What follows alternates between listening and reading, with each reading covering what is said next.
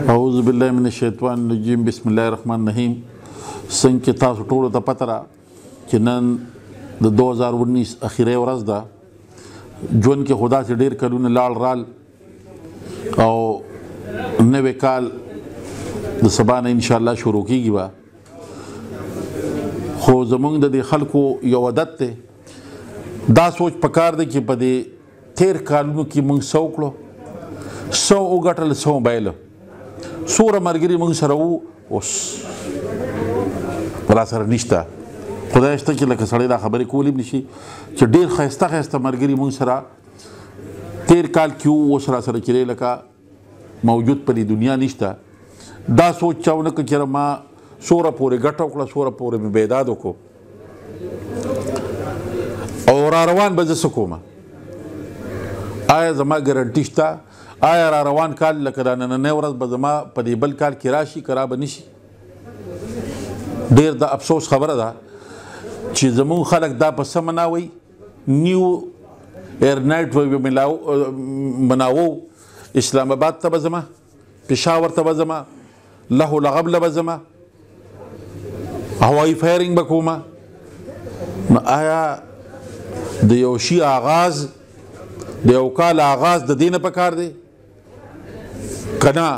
د ختم القرآن نه پکار دی د تلاوت کلام پاک نه پکار دی د یو نه کار نه پکار دی نو زه اوس دا نه پوهېږم دا به دا چې څوک دغه لذین دا په هغې پوهېږي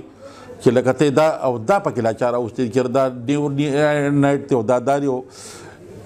یو مسلمان د خپل کور ته وګوره د خپل معاشرې ته وګوره د خپل بچو ته وګوره نو دا میسج در کوم چې رورې هوایي فایرینګ یو لعنت مکوه که ته کئ که آتشبازی کئ او که دغه هوایی فایرنګ کئ خو ستا په ګاونډ کی به بیماری تیر کال کی به پکی څوک مړی بیماری به ورکره مهربانی کوه د خپل گاونډي یا د خپل چم یا د خپل علاقې خیال وساته دغه په زخمونو مالګي مه دوړوه که دا ورځ نن پاغره سبا له پتام خدای مکراتلی شي سبا له پتا دا یو غچ داسې کی پتا بس زم دار سړي غم دار سړي درد ته خپل ځان باندې امپلیمنٹ کتا ته خپل پته ولګي چیرې حقیقت خبره دا ده چې یاره دا ښه کار نه دی نو زه دا ټولو ته میسج ورکوم چې هوایي فایرنګ یو لعنت دی او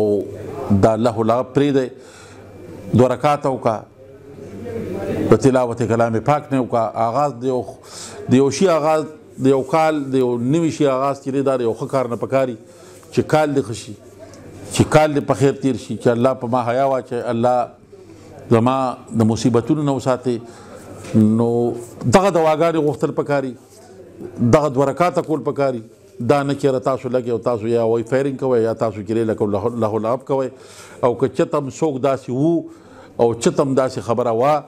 چیرې یا چا چیرې لکه پروګرام کړی دی یا چا پروګرامونه منعقد کړی دي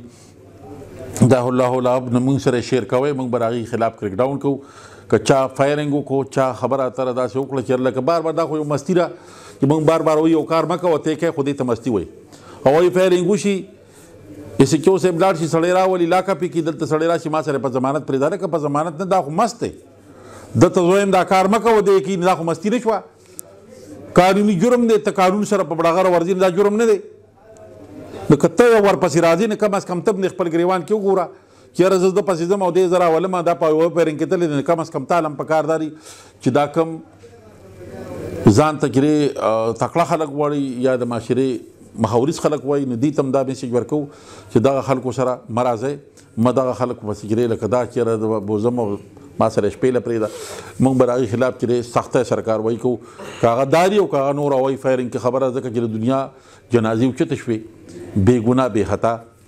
هیڅ جرم سړی ته نه معلوم او لګیا یو نقصانونه کیږي او سره د هغې جرې لکه مونږ خپل نقصان ته نه ګورو نو دا یو مهرباني وکړئ چې یو کال آغاز دی ښه کار نه وکړي دې باره کې خدای راکې لکه لاول خو دا خبره کو چې کوم وینو بار بار وایو چې موټر سایکل باندې ور ویلینګ نه د پکار یا موټر سایکل باندې ضرب تاری د پکار خو بهرحال که بیا هم سړی را پریوځي نو چې ستا هلمټ په سر نو کم از کم سر ته خو به خیر شي نو بار بار موږ دا خبره کوو چې پېټرول پمپ والا لم پکار دی دا پېټرول نه ار یو سړی له پکار دی چې دا نصیحت پته کوي چې بچي هلمټ کې نشته مو خو یې ستړي کړو بار بار ځو پاغي باندې یو کار کوو هغه خلاف کاروایی کو خو تاسو لم پکار داري چې چا د بچو موټر سایکل دي چې دا هیلمټ نشته موټر سایکل دی ولنه ورکی د مور پلارم سره ډیوټي شته دا صرف د پولیس او د پېټرول پمپ او د دې ذمہواری نه ده ستا بچی ته ول ته په نه خپه کېږي نه په ما زه په خپه کېږم تعلم په کار کې بری خپل بچی په خپل خپه شي چې ته ول چې لاول خو له ماخله موټر سایکل څخه شي راو کدي ول واغستو هیلمټ ورسره واله ورته نصیحت وکړه چې بچې دا اچوه نو دا به د کلی لکه که خدای مکه خو ګم شي را پرېوځي نو سر ته خو به دې خیري نو دا سر یو داسې نازک شی چې خدای مکه داري بچي نو که نور بدن باندې خو ګم شي هغه ځای له راشي خو سر ځای له نه راځي